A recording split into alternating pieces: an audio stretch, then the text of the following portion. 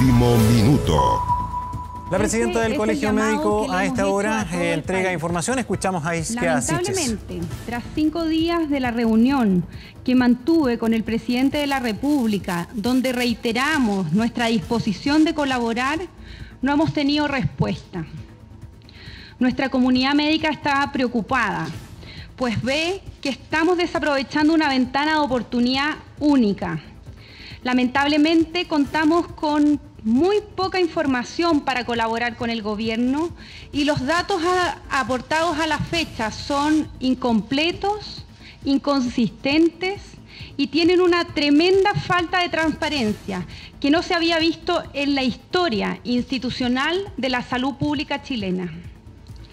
La estrategia que ha tomado el gobierno de diagnosticar para contener la expansión de COVID-19 es imposible de implementar a la fecha, porque nuestros médicos que se encuentran a lo largo de toda la red asistencial nos han informado que existen problemas relevantes en la saturación de la capacidad diagnóstica y no se están aplicando los protocolos mandatados por la autoridad sanitaria, no por desacato, sino por problemas en su implementación. Es urgente ampliar la capacidad de testeo y mejorar la organización de la red asistencial.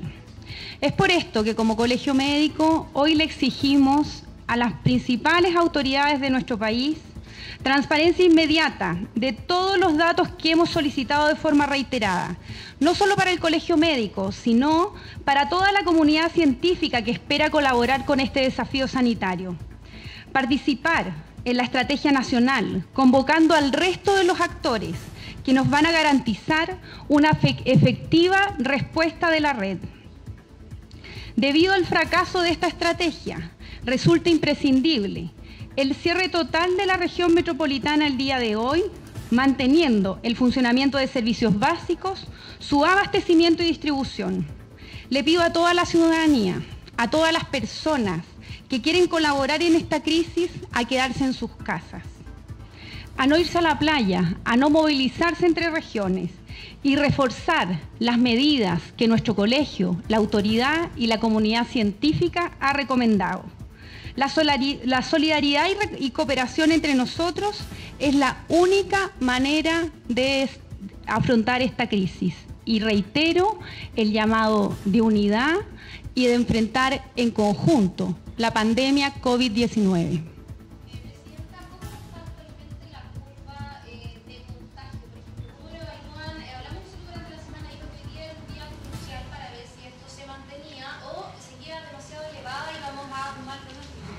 Bastante similar a lo que nosotros esperábamos, comprendiendo que los datos tienen un problema justamente con el cuello de botella, con eh, la confirmación de la PCR que tenemos.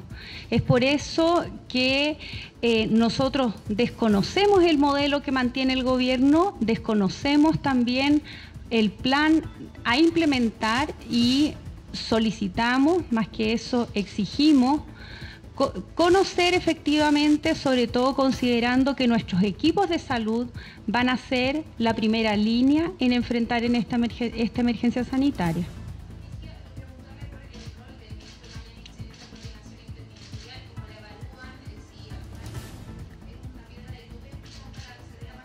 Colegio Médico, atendiendo las consultas de la es prensa. necesario a estas alturas que el presidente tome las riendas de esta emergencia sanitaria.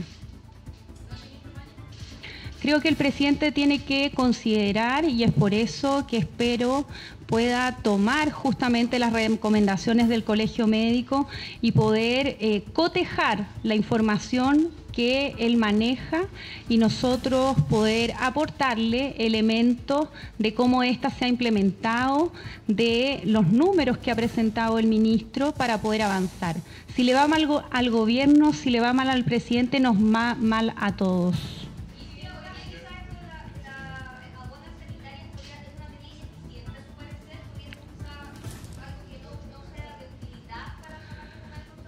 Yo hago el llamado a la ciudadanía a comprender que este es un virus que no podemos mirar, que muchos de nosotros podemos estar contagiados y no saberlo.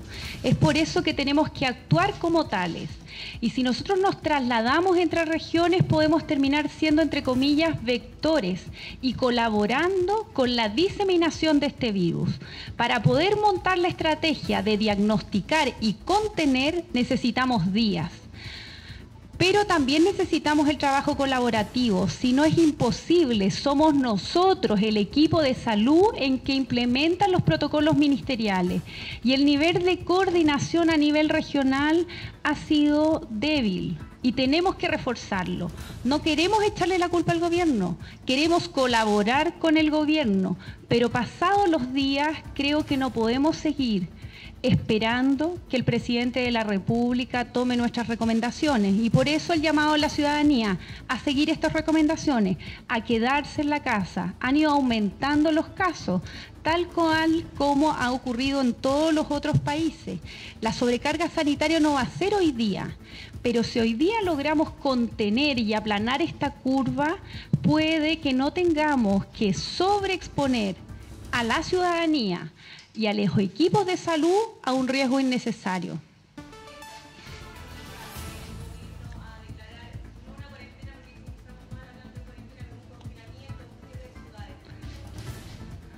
Desconozco, yo sospecho que el presidente no tiene todos los elementos y creo que es necesario que él los tenga. Es por eso que como Colegio Médico de Chile queremos entregarlos y mientras se fortalece la estrategia gubernamental, hacer un llamado particularmente en la región metropolitana, pues los pocos datos que hemos visto es justamente en la región metropolitana donde se concentran la gran mayoría de los casos y en donde eh, no hemos podido lograr contenerla y esta sigue aumentando progresivamente.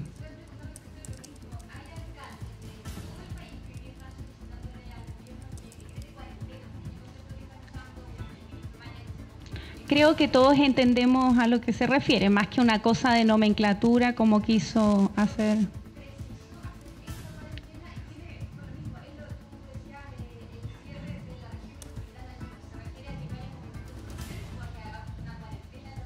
Un cierre total de la región metropolitana, solamente manteniendo los servicios básicos. Yo creo que la ciudadanía de la región metropolitana va a comprender que esto es para darnos más tiempo para fortalecer la capacidad diagnóstica, tener más capacidad de testeo, pero no seguir diseminando en el momento porque si no, esto es como llaves. Es muy difícil cerrar esas llaves a posterior, pero si mantenemos conglomerados pequeños que podamos ir apagando, esto no se nos va a incendiar.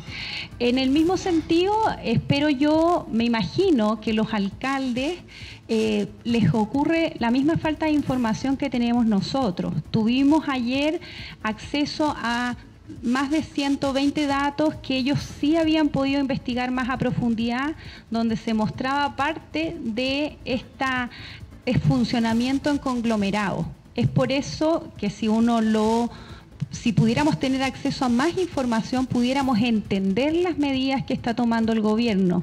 Pero hasta la fecha, y sobre todo porque gran parte de esas medidas las implementamos nosotros mismos, creemos que, son, que no van por el camino correcto.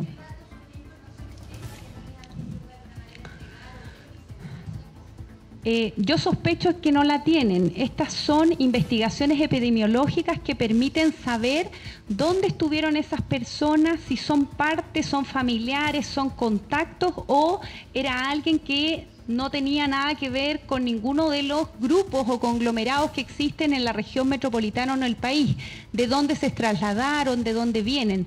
Eso permite ir creando un, un, mapa de cómo se ha comportado el virus y es uno de los elementos fundamentales. Si uno no tiene esos datos para tomar definiciones, está especulando. Entiendo que si el gobierno no tiene esos datos, tenga que tomar definiciones, pero nosotros le planteamos que se ponga en el escenario menos favorable y no con la omnipotencia que se ha planteado en los medios de que tiene todo absolutamente controlado. Bien, es la presidenta del Colegio Médico, Isquia Siches, eh, manifestando ahí fundamentalmente y, y, también denunciando falta de transparencia y pidiendo a la autoridad que al menos se decrete una cierre de la región metropolitana. Ya vamos a estar con más detalles, más reacciones respecto a este tema, mientras... Eh,